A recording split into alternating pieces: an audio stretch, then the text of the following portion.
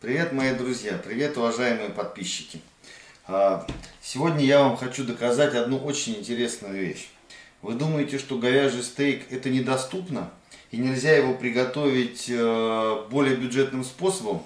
Я сегодня вам докажу, что это не так. Вот, смотрите, а, у меня в руках а, кусочек э, говяжьего краешка. Я это купил на рынке, который находится около моего дома в городе Москва по цене 360 рублей за килограмм. А, давайте взвесим, сколько он весит. 927 грамм. Для того, чтобы не забыть, друзья, мы будем все записывать. 927 грамм. Сейчас вы поймете для чего. А, вы же знаете, сколько стоит рибай? Я сегодня специально зашел в популярные интернет-ресурсы и увидел, что он стоит от 1300 рублей до 1800 рублей за килограмм. Ну, даже возьмем самый простой стейк, стоит 1300 рублей за килограмм.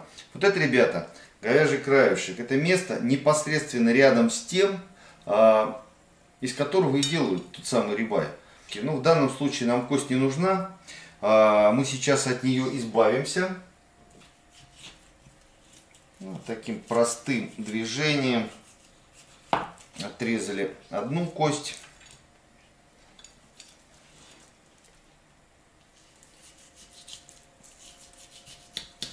И отрезали вторую кость. По сути, вот он готовый стейк, который нам надо... Ну, я не, не люблю вот такие толстые. Нам этот стейк необходимо распустить на две половины. Вот как вы видите, да, у них есть жирный краешек немножко, вот здесь чуть-чуть жирок, здесь чуть-чуть жирок. Так, но самое главное не в этом. Давайте мы теперь взвесим. Так, кладем на весы.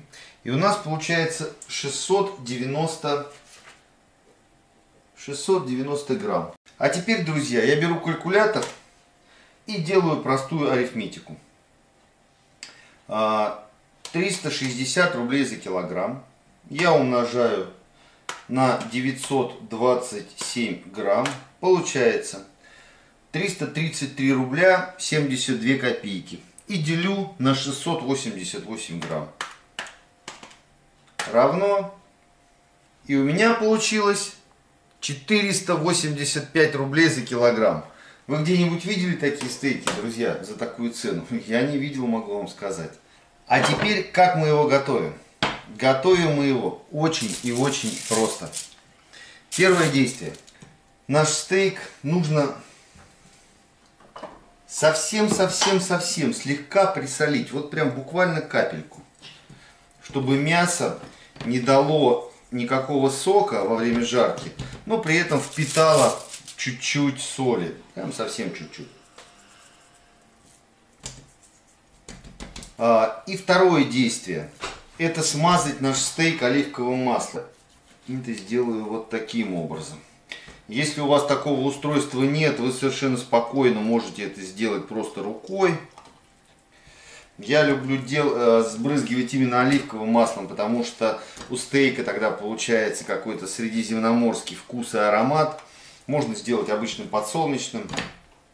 Хорошее мясо сложно чем-либо испортить. Вот, друзья.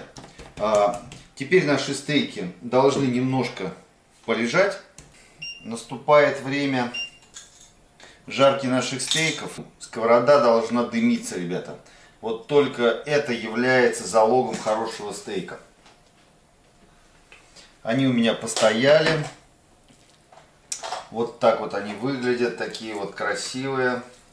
А теперь, друзья, открою вам секрет хорошего стейка. И неважно это, рибай или говяжий краешек. А секретов их несколько. Первый секрет. Жарим на максимально-максимально быстром огне. Тот, который у вас только есть. Вот у меня девятка. Э, и э, даже этого мало. Второе. Сковородка должна быть максимально горячая. Вот видите, вот у меня появился дымок. Поэтому я подолью масло. Очень много, не надо масла, небольшое количество. Сейчас он нагреется. И когда начнут дымиться, мы положим наши стейки. Следующий секрет. Никаких крышек. Вот никаких. Убираем сразу ее в сторону. Четвертый секрет. Мясо не нужно солить. Его можно чуть-чуть, буквально вы видели, сколько я присолил перед началом готовки. Прям самую малость. А, чтобы оно не давало сок. И последний секрет. 2 минуты с каждой стороны. Вот я поставил 4 минуты. И отправляю на сковородку наши кусочки. Для того, чтобы не брызгалось, я использую вот такую сеточку. Прижимаем наши стейки. Они должны как следует жариться. Так, ребята, я включу выпечку. Нужно сделать максимум, чтобы куда будет у вас уходить дым. А дыма в этой ситуации всегда много, друзья. Две минуты прошло, поэтому я переворачиваю наши стейки на другую сторону. А, какой он красивый. Вот, ребята, у нас осталась одна минутка. Что я делаю в конце?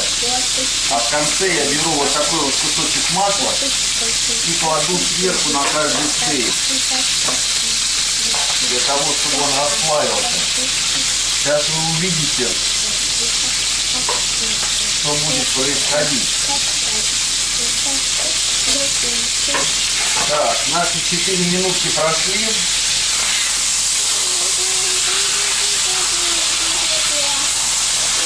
Вот такой стейк у нас с другой стороны.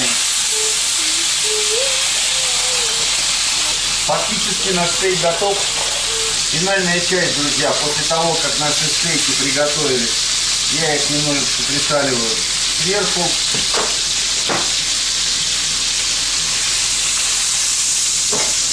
Так, давайте немножко поперчим, чтобы он был ароматный.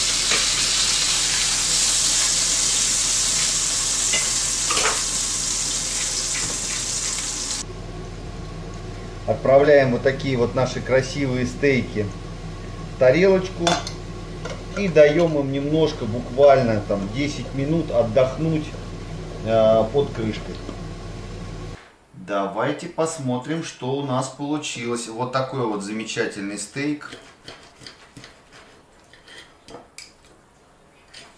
Замечательной прожарки. Вы посмотрите, как в лучших ресторанах. О. Приятного, друзья, аппетита. М -м -м. Не хуже, чем рибай.